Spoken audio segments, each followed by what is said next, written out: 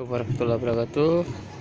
Kelanjutan kemarin setelah kita ngambil potongan dari potongan pemangkasan panen Bali hasil pemotongan hasil pemangkasannya kita lanjutkan dengan eh, penanaman. Tapi sebelum ditanam eh, daun kita kurangi dulu. Perlunya apa biar tidak terjadi penguapan yang sangat over. Maka sebaiknya secara teori daun kita kurangi. Dan perlunya lagi biar ketika daun padan bali ini kalau mau ditanami dikurangi ini keumpama kena goyang angin tidak gampang goyang. Ya istilahnya kita tunggu ya. Kita potong dulu daunnya. Dan ini setelah kita pangkas daunnya dengan gunting ini. Ini aslinya gunting plat ini. Tidak ada lagi ya seadanya wis. Setelah kita potong kurangi daunnya biar penguapannya ini tidak terlalu over. Ini daunnya selain pemotongan daun ini tujuannya untuk tidak terjadi banyak penguapan juga menghindari dari terjangan angin. Ya kita sekarang eh, nanam eh, pandan balinya. Perlu ketahui kemarin penanaman pandan bali yang pemotongan itu uh, tidak sukses. Yang mati satu. Jadi karena yang mati satu ini yang mati. Yang saat ini hidup yang ini mati. Ini membusuk ini. Karena membusuk kita ambil. Kita le kita ganti yang yang ini. Ya kita ganti pakai yang ini. Kalau yang ini hidup tinggal yang ini tancapkan saja. Penancapannya tidak sulit hmm.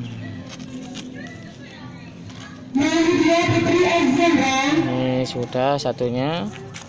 Tinggal yang ini kita cari media yang pas.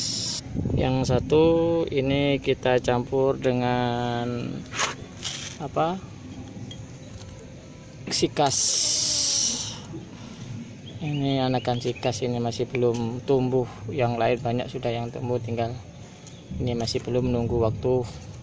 Ya kalau sikas ini memang harus sabar. Ini kita campur dengan pandan Bali karena tidak ada uh,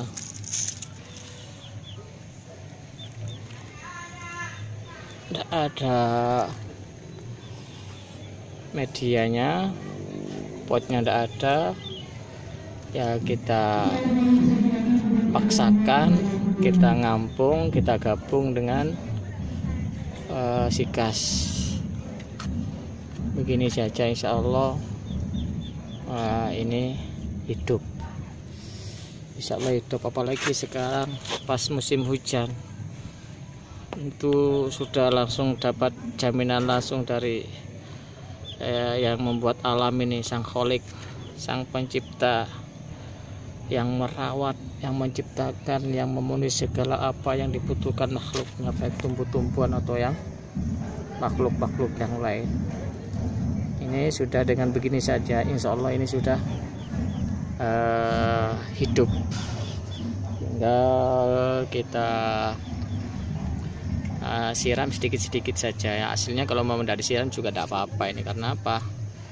Karena apa karena lagi musim hujan. Ya begitu saja uh, liputan kami tentang penanaman pandan Bali. Kemarin saya ambil kita potong tanpa alat pemotong cuman kita paksakan pemotongan itu melalui uh, otot. Dan hasilnya ini kita pindahkan kita gabungkan dengan uh, sikas terima kasih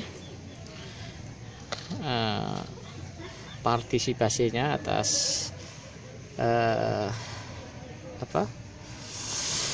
Telah mengikuti karya kami penanaman padan Bali. Begitu saja jangan lupa like-nya share-nya komennya terlebih subscribe-nya. Dengan subscribe lagi-lagi Anda tidak akan selalu mengikuti perkembangan terbaru kami karya-karya terbaru. Ilaliko masalah assalamualaikum warahmatullahi wabarakatuh